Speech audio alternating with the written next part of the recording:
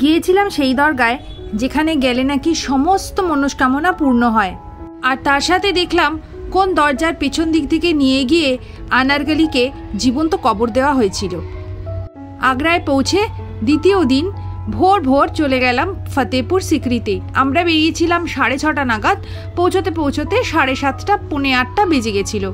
তো তখন একদম ফাঁকা ছিল আর আমাদের যে ট্যুর গাইড ছিলেন, উনিও বললেন যে খুব ভালো সময় এসেছি, নইলে এরপরে রোদ বাড়লে পরে কিন্তু এখানে হেঁটে হেঁটে ভালো করে দেখা সম্ভব হবে না। এই ফতেপুর সিকরির ইতিহাস তোমরা নেট খুললেই জানতে পারবে। এখন বরঞ্চ চলো এর চারদিকটা একটু ঘুরে দেখে নিই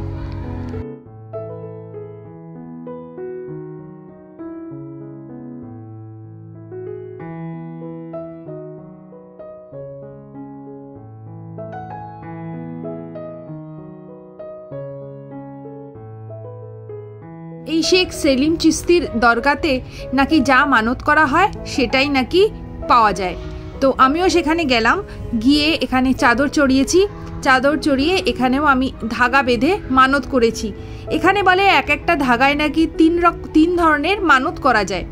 তো আমিও তিন ধরনের মানত করে এসছি। দেখা যাক কতটা পূর্ণ হয় আমার মনস্কামনা।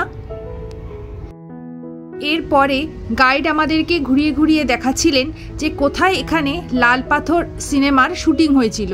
এখানেই নাকি ওই লাল পাথর সিনেমার শুটিংটা হয়েছিল।